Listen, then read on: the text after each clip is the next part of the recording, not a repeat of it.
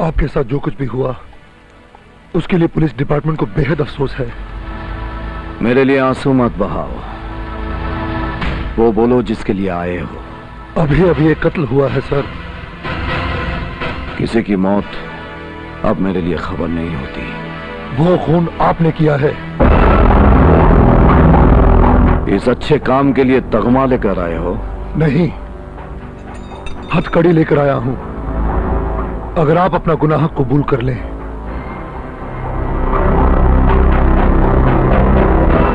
बहुत स्मार्ट लग रहे हो इंस्पेक्टर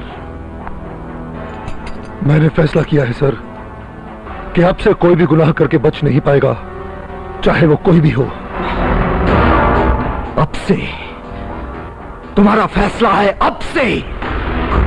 यानी पिछले तमाम गुनाहों को पुलिस डिपार्टमेंट ने ब्लैक मनी की तरह एडजस्ट कर लिया।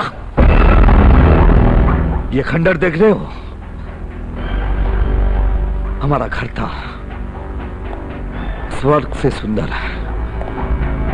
एक परिवार था, देवताओं की तरह। इंद्रधनुष के सातों रंग में रंगी हुई एक खूबसूरत ज़िंदगी थी। ये ये कैसे शमशान बना, क्यों बना? कभी जानने की कोशिश की है? आज एक हत्यारे की मौत पर हथकड़ी लेकर मेरे सामने खड़े हो गए। सर, मेरे फ़र्ज़ ने आपका दिल दुखाया। इसका मुझे बहुत दुख है।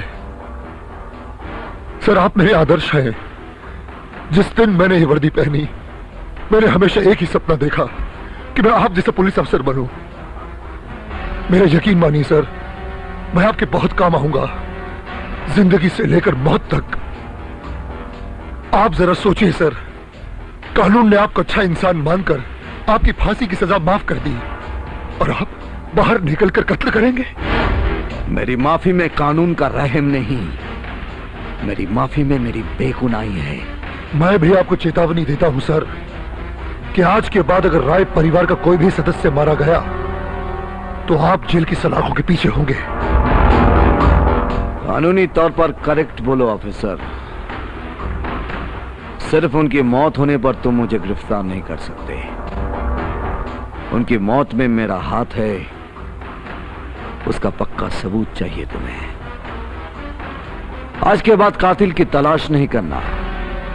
सबूत की तलाश करना। क्योंकि कातिल तो हर हालत में मैं ही हूँ। जाओ, आज की तुम्हारी ड्यूटी खत्म हो गई। जाओ।